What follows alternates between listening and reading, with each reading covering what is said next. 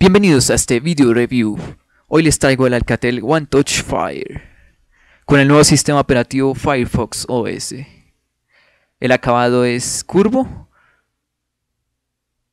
Este es un nuevo sistema operativo que se está implementando. Se encuentra aquí en la parte eh, superior un botón para encender, apagar, desbloquear, audífonos, trap audífonos, una cámara de 3.2 megapíxeles, un acabado liso en la parte izquierda encontramos un botón para subir y bajar volumen. Una pantalla de 3.5 pulgadas. Mismo tamaño que la de un iPhone.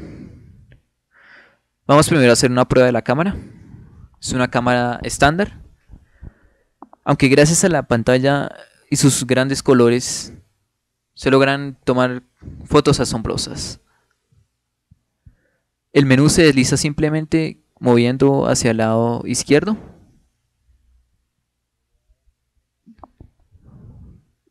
En este momento el sistema, este sistema es nuevo. Eh, la tienda de aplicaciones cuenta con pocas aplicaciones, aunque dentro de un poco tiempo, dentro de un tiempo se irán mejorando.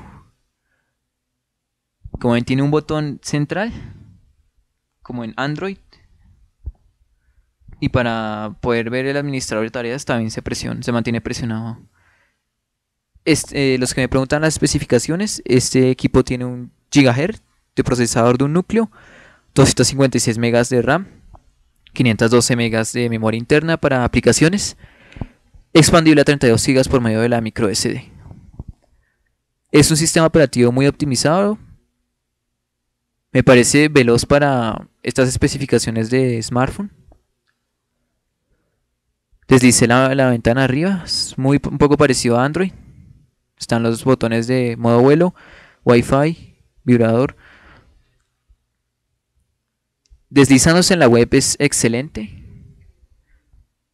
Aquí está el teclado, si lo querían ver, también tiene acelerómetro. Pero si quieren escribir, en este momento no, no, no está disponible aplicaciones de comunicación como WhatsApp, Line, WeChat, pero dentro de entre un tiempo las, estas empresas irán sacando aplicaciones para este sistema operativo, ya que sabemos un sistema operativo que hasta este año salió al mercado.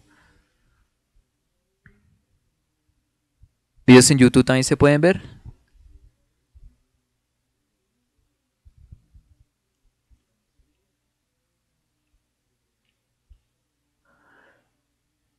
Parece que no cargó. Ah, no, sí.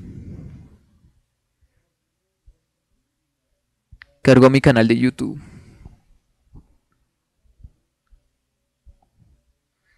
Vamos a ver otra aplicación. Esta fue descargada de la tienda de aplicaciones. Como ven es bastante veloz. Para nomás tener 256 megabytes de RAM.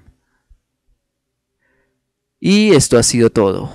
Espero que les haya gustado. No olviden darme un like, me gusta, suscribirse. Si quieren, pregunten los favoritos.